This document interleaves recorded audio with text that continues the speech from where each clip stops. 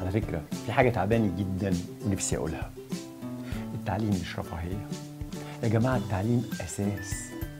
نفسي كل واحد بيشوفنا دلوقتي يأكد إن ولاده يتعلموا. نفسي إن كل مدارسنا العامة يبقى مستواها كويس.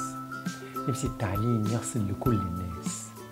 المرأة قبل الرجل. الست ما بتكون متعلمة في بيتها ياه! شوفوا ولادها بيكون شكلهم إيه. يا ريت نركز على التعليم. يا ريت دايما. أنا دايما بقول الدول بتقاس بدرجة تعليم أبنائها. التعليم والصحة. الصحة والتعليم. لا هرجع أقول التعليم والتعليم وبعدين الصحة. قد إيه مهم إن إحنا لما نكون متعلمين كل اختياراتنا بتكون سليمة. يا ريت يا ريت علموا أولادكم وما تبخلوش أبدا إنهم يتعلموا.